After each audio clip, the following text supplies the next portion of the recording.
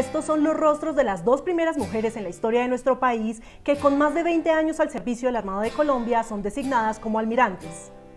La capitán de navío Beatriz García es una abogada apasionada por los temas relacionados con los derechos humanos. Se da la opción por parte de la Armada Nacional de hacer la maestría en la Escuela Superior de Guerra de Derechos Humanos y Derecho Internacional de Conflictos Armados. Me postulo a esta maestría y es aprobado por el mando esa postulación.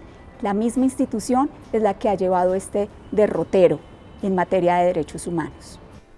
La oficial ha dividido su tiempo entre el trabajo y el hogar, tarea que con disciplina, amor y perseverancia ha sabido llevar.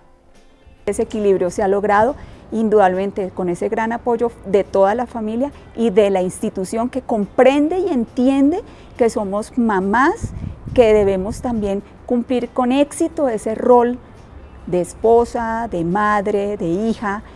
Carolina Gómez es la otra capitán de navío que en su especialidad como ingeniera y arquitecta y motivada por el gran amor hacia su padre asciende a este importante grado dentro de la fuerza.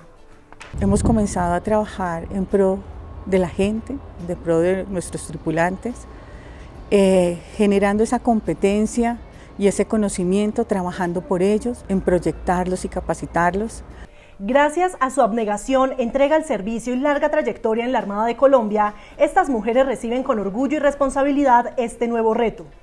Seguir trabajando por la gente, seguir abriendo caminos para los oficiales del cuerpo administrativo y para las mujeres que integran la Armada Nacional, sean civiles, oficiales, suboficiales. Trabajar con amor, pero ese trabajo que se realiza con amor debe llevar disciplina, debe llevar consagración. A la fecha son más de 2.000 las mujeres que hacen parte de la Armada de Colombia, entre oficiales, suboficiales, alumnas en las escuelas de oficiales y suboficiales y personal civil.